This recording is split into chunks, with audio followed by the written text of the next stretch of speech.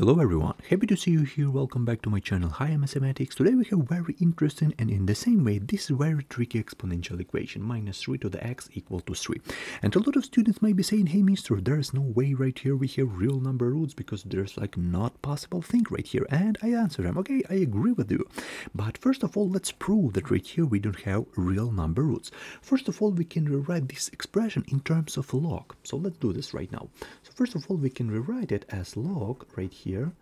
Base of right here we have minus 3 right here we have 3 and equal to x. So in terms of log we can easily rewrite this expression but with one really interesting moment x is okay on the right side 3 is okay right here at this place but minus 3 right here. This is very bad thing because right here it cannot be it cannot be negative. So this is not not good. So it means that right here we don't have no no real roots okay? No real roots. This is like a proof from school knowledge. This is a proof that right here we don't have real roots. But basically let's try to look at it from another perspective. Let's try to look at it in the perspective of complex numbers. So this is our first method. I'm going to show you the two methods how can we solve this question.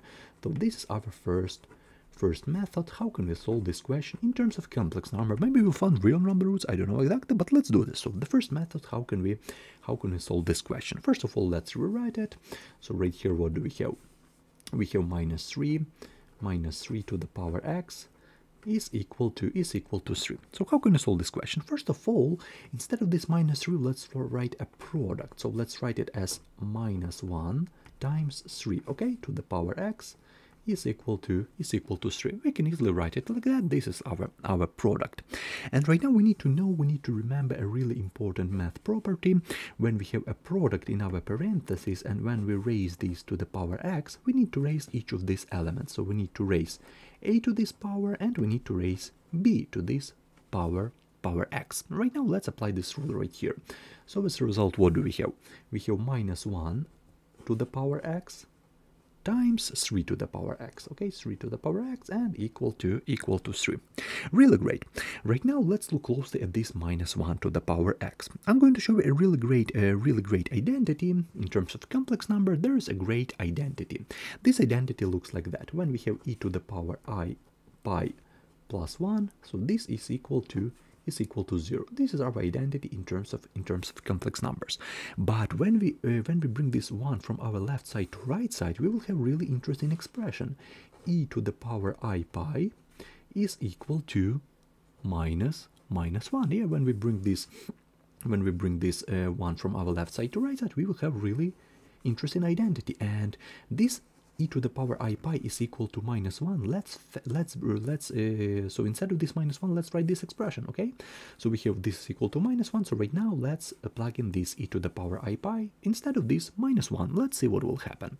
Let's see what will happen. Right here we have e to the power e to the power i pi raised to the power raised to the power x okay?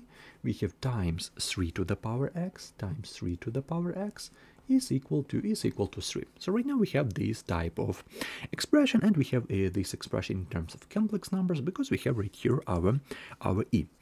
Okay, right now, a really interesting property from school right here we need it. Uh, we have right here a to the power x raised to the power y. We will have like a to the power x times y. So we need to multiply our, our powers. As a result, what do we have? e to the power i pi x i times pi n times x uh, times 3 to the x times 3 to the x is equal to is equal to 3 okay right now let's try to solve this question.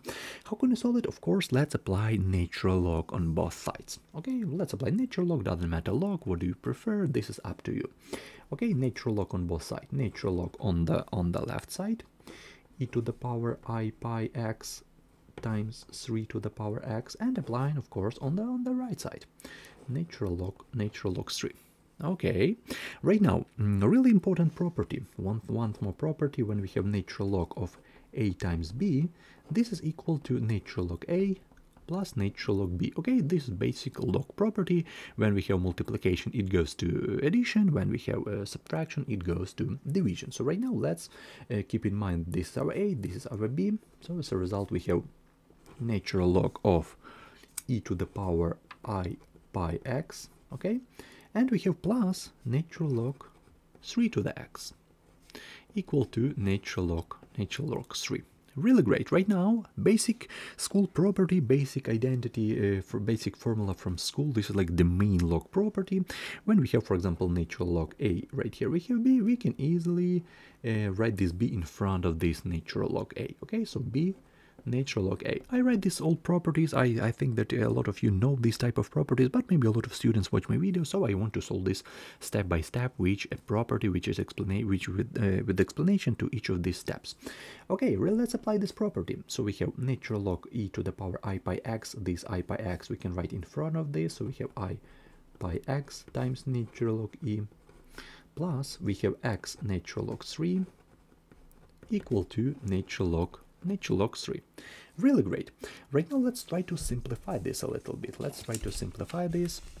Mm, natural log e equal to 1 okay? First of all this one equal to 1 so natural log e equal to 1 and as a result what do we have? We have i pi x. So we have i pi x i pi x plus x natural log 3 equal to natural log 3 Right now we have x right here, x right here. Let's factor this x. Let's do this right now. So as a result, what do we have? x inside parentheses, we have i pi, i pi, and plus natural log 3 plus natural log 3 equal to natural log natural log 3. Okay, and the final tricky move, let's divide both sides by this expression. So we will have our, our final answer. So x is equal to natural log 3 and dividing by i pi plus natural log 3 i pi plus natural log natural log 3. This is our our complex solution because we solved it in terms of e, in terms of complex numbers.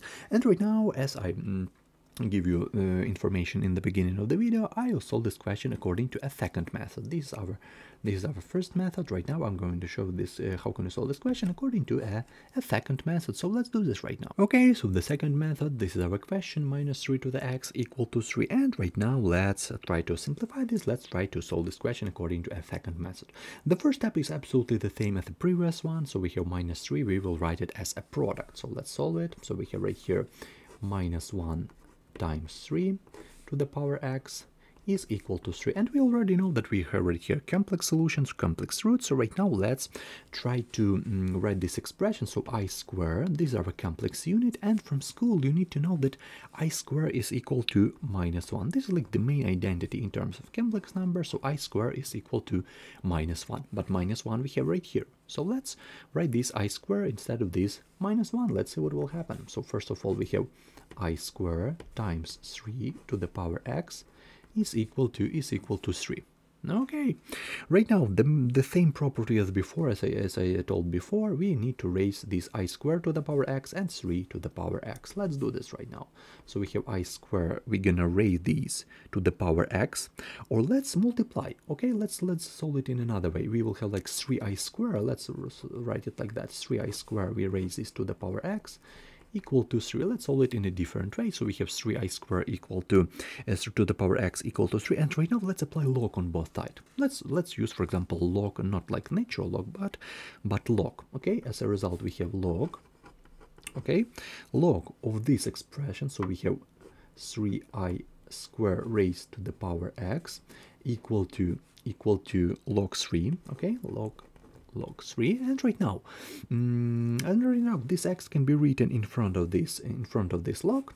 It simplifies us a lot so we have x times log log 3i square okay? Log times uh, log uh, 3i square.